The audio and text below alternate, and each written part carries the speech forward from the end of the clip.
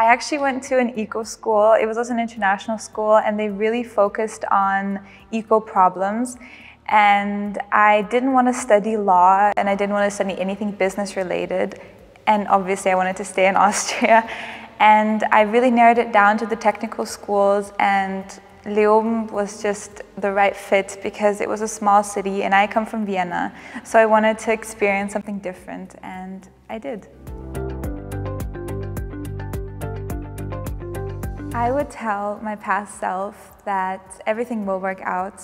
You will find your people and it is hard finishing school because you're in such a bubble, but once you leave the bubble, it's, it will all work out.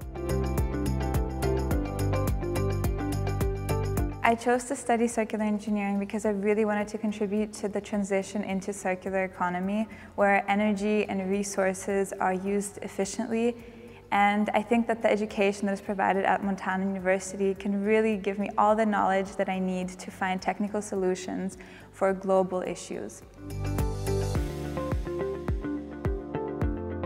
In the future, I really want to work on projects that relate to sustainability and really making a difference in the technical field, because that is one of my passions.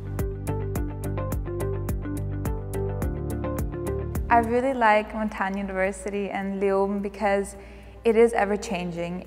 It is constantly progressing and you always have new research projects that can really change the future going on. Montan Universität Leoben. Alles außergewöhnlich.